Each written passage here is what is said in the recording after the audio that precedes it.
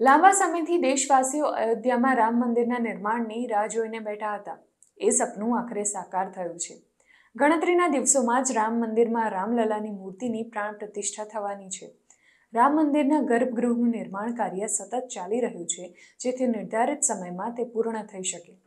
પ્રાણ પ્રતિષ્ઠામાં વડાપ્રધાન નરેન્દ્ર મોદી સહિત દેશ વિદેશના વીવીઆઈપીઓ ઉપસ્થિત રહેશે. મનોરંજન જગતના પણ કેટલાય સિતારાઓને પ્રાણ પ્રતિષ્ઠામાં હાજરી આપવા માટે આમંત્રણ આપી દેવાયું છે. રામાનંદ સાગરની સિરિયલ રામાયણમાં સીતા માતાનું પાત્ર ભજવનારી અભિનેત્રી દીપિકા ચિખલિયાને પણ રામ મંદિરની પ્રાણ પ્રતિષ્ઠામાં ઉપસ્થિત રહેવાનું નિમંત્રણ પાઠવાયું છે. ઉપરાંત આ જ શોમાં રામનું પાત્ર ભજવનારા એક્ટર અરુણ ગોવિલને પણ આમંત્રણ મળ્યું છે.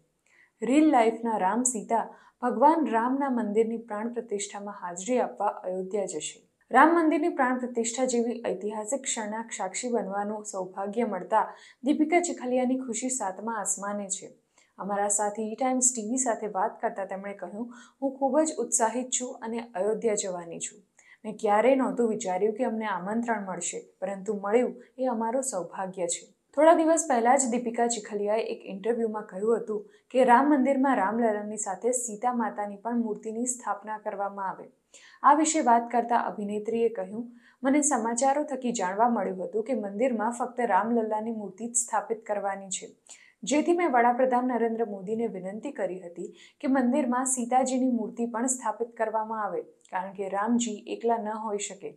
બાદમાં મને સમાચારો થકી જ જાણવા મળ્યું કે મંદિરમાં રામ ઉપરાંત લક્ષ્મણ અને સીતાની મૂર્તિની અલગથી અન્ય જગ્યાએ સ્થાપિત કરાશે.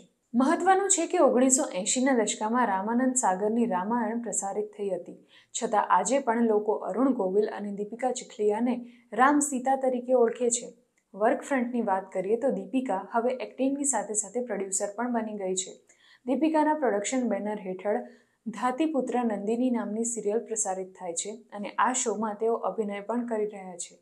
રામ મંદિરની પ્રાણ પ્રતિષ્ઠાનું આમંત્રણ મેળવનારા કલાકારોમાં mega star Amitabh Bachchan, superstar Rajinikanth Ranbir Kapoor અને આલિયા ભટ્ટ, અક્ષય કુમાર, ચિરંજીવી, કંગના રનૌત, આયુષ્માન ખુરાના, અજય દેવગણ, માધુરી દીક્ષિત, પ્રભાસ અને યશ, મધુર ભંડારકર, સંજય લીલા ભણસાલી, રિષભ શેટ્ટી, જેકી શ્રોફ વગેરેનો સમાવેશ થાય છે. ક્રિકેટરોમાંથી વિરાટ કોહલી અને સચિન તેંડુલકરને આમંત્રણ મળ્યું છે. ઉદ્યોગપતિઓમાં રતન ટાટા, મુકેશ અંબાણી, અનિલ અંબાણી, ગૌતમ અદાણીને આમંત્રણ અપાયું છે.